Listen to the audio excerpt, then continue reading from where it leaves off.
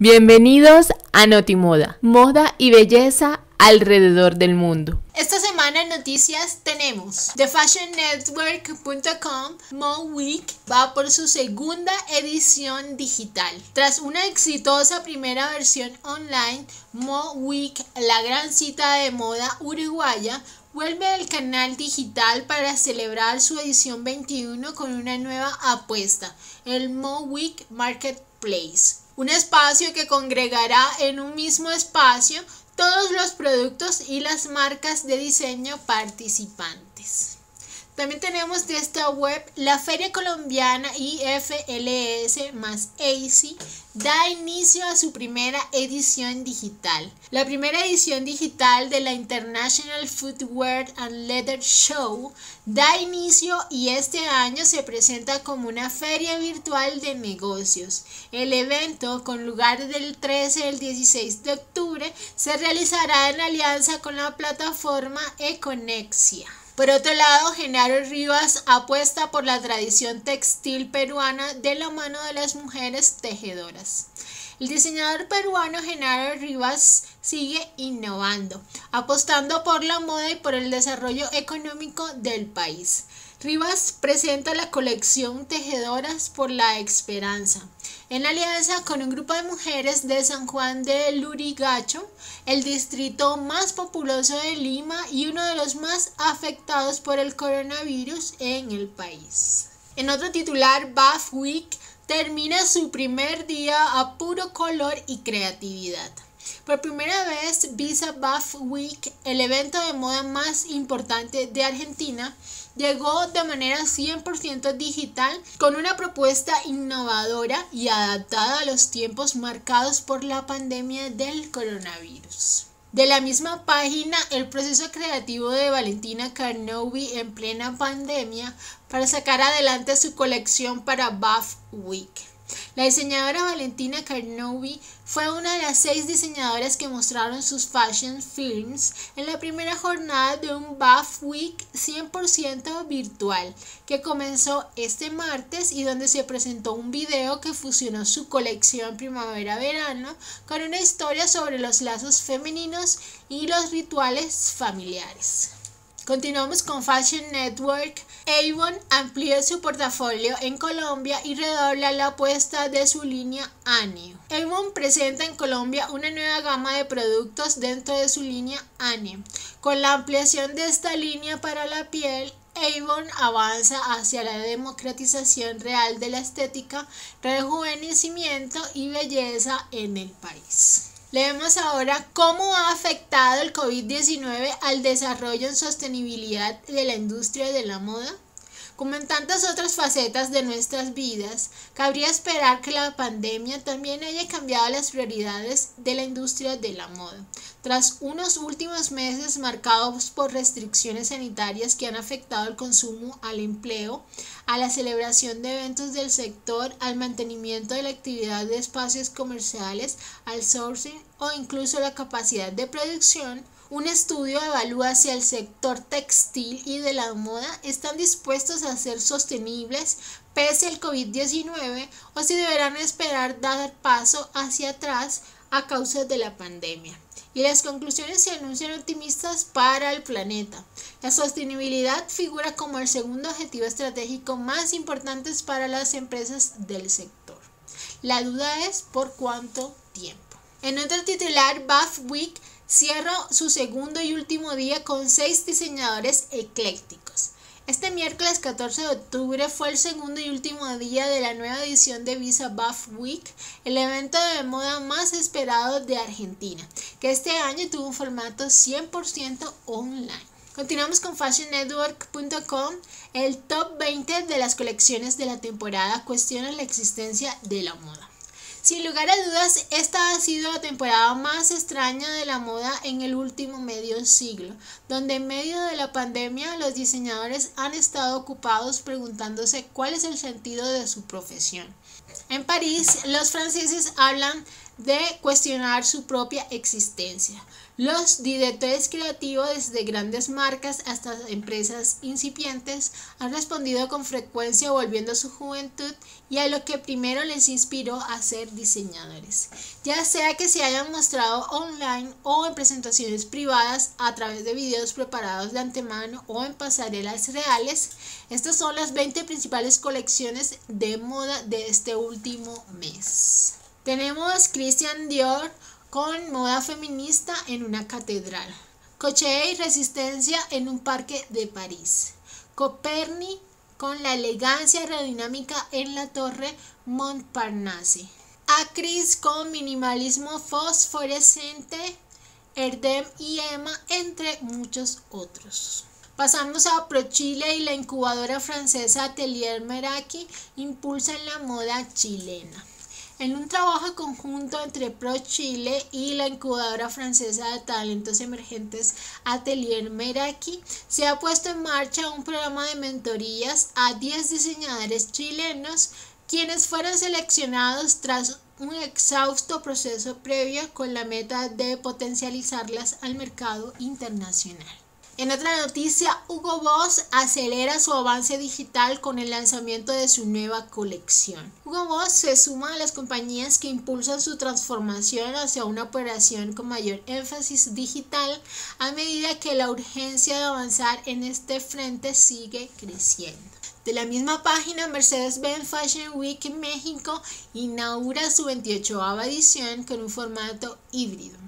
La Semana de la Moda Mexicana pone en marcha su 28 edición con un formato híbrido que contempla cinco desfiles presenciales en la capital del país y una extensa cartelera de pasarelas y actividades digitales que son transmitidas desde este 14 de octubre a través del canal oficial de Mercedes-Benz Fashion Week México en YouTube. Por otro lado, DAP presenta su colección edición virtual en Bolivia. Diseño de autores bolivianos, uno de los eventos de moda y arte más importantes de Bolivia, da inicio a su séptima edición, la segunda en el canal digital. El evento, con lugar hasta el 16 de octubre, presentará las más recientes colecciones de los diseñadores locales e invitados latinos en formato de video y foto. Tenemos ahora Argentina toma la batuta en el segundo día de actividades en Fashion Week México. Argentina, el país invitado de Mercedes-Benz Fashion Week México en su 28 edición, ha dicho presente en la segunda jornada de la Semana de la Moda Mexicana con un triplete integrado por Mila Cartey, Min Agostini y Andrea Urquizo. Leemos ahora las 10 tendencias claves de la temporada femenina verano 2021 bajo la influencia del COVID-19. En esta serie de Fashion Weeks realizada bajo la influencia de la pandemia marca un punto de inflexión. Por primera vez las casas pudieron presentar su colección en vivo a una audiencia global gracias a internet, mientras que solo un tercio de ellas pudieron desfilar. Las otras marcas apostaron por videos digitales. En este contexto, los desfiles revelaron caras nuevas venidas de todos los horizontes. Y así podemos mencionar que estas tendencias son la mascarilla, prendas de protección, un total look, el black and white, prendas acogedoras, prendas sin género, entre otros. Leemos ahora cómo se adaptan las marcas a las Fashion Weeks para ser mediáticas en tiempos de pandemia. Ante el complejo desafío de descubrir lo que significa exactamente la nueva normalidad y cómo adaptarnos a ella sin morir en el intento, han discurrido las cuatro grandes semanas de la moda. Desde el pistoletazo de la salida a la Fashion Week de Nueva York el 11 de septiembre hasta el cierre de la Semana de la Moda de París el pasado 8 de octubre, las capitales de la industria han tratado de dar respuestas proponiendo formatos renovados acorde a las restricciones y necesidades actuales condicionadas por la pandemia. Ahora es momento de hacer balance, optimizar las propuestas y prepararse para la próxima temporada. ¿Quién se ha adaptado mejor a los nuevos tiempos? Nueva York, Londres, Milano, París. ¿Hay que apostar por eventos físicos o digitales? ¿Qué estrategia de marketing aplicar para obtener mejores resultados? En este artículo se aporta claridad sobre estas preguntas. Por otro lado, YouTube se alista para convertirse en el nuevo destino de compras. Solo hay un paso entre un video y la cesta de compra. Al menos eso es lo que quiere transmitir YouTube a los consumidores en todo el mundo. El gigante de Silicon Valley trabaja actualmente en una función de compra que permitirá a sus 2 mil millones de usuarios ver y comprar los productos que aparecen en los videos de la plataforma. En una última noticia de FashionNetwork.com, la elegancia fortalecida de Michael Kors en un jardín urbano. Nueva York suele ser considerada como la jungla de cemento por excelencia. Para Michael Kors es más bien un oasis. El jueves Kors se convirtió en el más reciente diseñador en presentar su nueva colección en forma virtual con creaciones para la temporada primavera-verano 2021 que reflejan la naturaleza a través de una mirada urbana. Pasamos al tiempo.com. La conciencia ecológica impulsa el mercado de ropa usada en Colombia, puntualmente en Bogotá.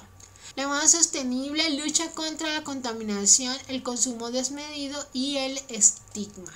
Tenemos ahora de infobae.com lo mejor de Buff Week 2020, la innovadora semana de la moda que esta vez fue 100% virtual. Fashion Films charlas virtuales y contenido exclusivo para los amantes de la moda. Lo último en vanguardia y tendencias que se ven en la calle para lucir la próxima temporada primavera-verano 2020-2021. También de Infobae, la moda de señora y caballero se difumina ante nuevos géneros e identidades. Diseñadores y expertos apuntan que aunque la moda haya potencializado en los últimos siglos la dualidad entre femenino y masculino, en el futuro puede convertirse en una herramienta de visibilidad de nuevas identidades que trasciendan a los géneros tradicionales. Leemos ahora de valoranalytic.com, Rueda de Negocios de Conexia buscó reactivar ecosistema de moda y confección en Colombia con el objetivo de generar oportunidades de negocios en un ambiente digital para empresarios, MIPIMES, grandes, grandes empresas y emprendedores del sector de la moda del país, Econexia, la plataforma digital de conexiones y negocios, dio vía libre a la primera rueda virtual de negocios para el ecosistema moda y confección. Leemos ahora del mundo.es, la ropa debe tener una vida más larga que una temporada. El mundo de la moda es uno de los que más está cuestionando su futuro una vez se supere la pandemia causada por el virus del COVID-19. Esta crisis puede ser una oportunidad para cambiar lo que no está funcionando y para redefinir un nuevo panorama de un sector que en las últimas décadas ha estado marcado por un ritmo frenético de diseño, manufactura y entrega. Y en una última noticia del día con okdiario.com, ¿Cuáles son los colores de pelo de moda según los expertos? Cada año hay diversas tendencias en cabello. Ahora se llevan desde los cortes pixies a las medelenas largas con ondulaciones. Ahora bien, a la hora de tratar tendencias de coloración hay reflejos y tonos algo más oscuros que sustituyen a los rubios más claros. ¿Cuáles son los colores de pelo de moda según los expertos? Estos son los diversos tonos de castaño, las mechas hair contouring, el rubio rojizo y las mechas para el castaño oscuro, entre Hasta aquí las noticias de hoy. Los esperamos en nuestra siguiente entrega de noticias sobre moda y belleza. Te invitamos a conocer nuestra web www.stylepoint.club para toda la información de moda, belleza y asesoría de imagen. Y suscríbete a nuestras redes sociales para inspirarte con fotos, gráficos, videos y mucho más. StylePoint.club, un punto de encuentro entre la moda y la belleza.